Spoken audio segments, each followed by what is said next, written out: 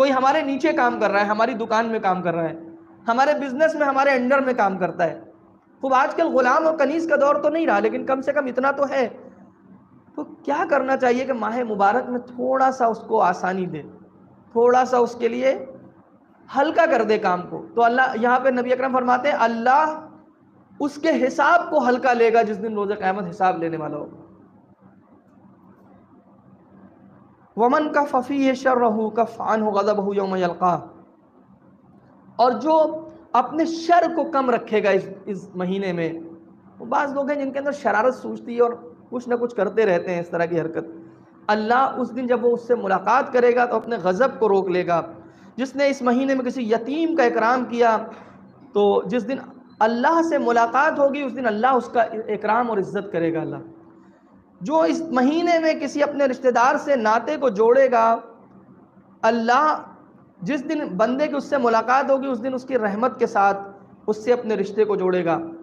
लेकिन हाँ अगर किसी ने अपने रिश्तेदार से नाते को तोड़ दिया तो अल्लाह भी अपने रहमत के रिश्ते को तोड़ देगा उसके साथ। फिर उसके बाद कहा कि जो इसमें एक मुस्तहब नमाज़ पढ़ेगा, अल्लाह उसके लिए आतिश जहन्नम से नजात का परवाना तहरीर करेगा। और जो इसमें वाजिब नमाज़ अदा करेगा इस महीने में ऐसा है जैसे पिछले महीनों में उसने सत्तर वाजिब नमाजें अदा की हों। एक नमाज़ इसमें।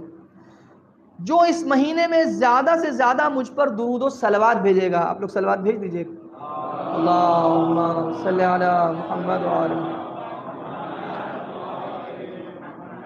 उस दिन अल्लाह उसके मीज़ान को भारी कर देगा, जिस दिन मीज़ान हल्के होंगे, जिस दिन इंसान का जब हिसाब किताब लिया जाएगा और उसके पास अमाल नहीं होंगे, जो ज़्यादा से ज़्यादा मुझ पर और मेरी आर्म पे सलवात भेजेगा इस महीने में, उस दिन उसके मीज़ान में वज़न पैदा हो जाएगा। और जिसने इस महीने में एक आयत कुरान की तिलावत की, देखिए ये बहुत अहम है।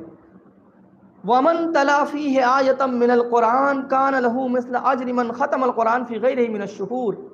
जो एक आयत की तिलावत करेगा इस महीने में, ऐसा है जैसे उसने बकिया महीनों में पूरे कुरान को ख़त्म किया हो। एक आयत और तीस पारों को पढ़ना पूरे बाकी महीनों में। माह मुबारक में सिर्फ़ एक आयत की तिलावत। अब खूब एक ख़त्म कुरान अगर अल्लाह में तोफ़ी दे दे या एक से ज़्यादा की तोफ़ी दे दे तो क्या कहना? एक आयत के लिए परवरदिगार इस तरह से फरमा रहा है। इस तरह से हमारे लिए रहमत रखी है उसने। बस बात को तमाम करो। अय लोगों इस महीने में जन्नत के दरवाजे खुले हुए हैं। अपने परवरदिगार से सवाल करो कि तुम्हारे ऊपर बंद न कर दे और जहन्नम के दरवाजे बंद हैं, अल्लाह से सवाल करो कि तुम पर खोल न दे।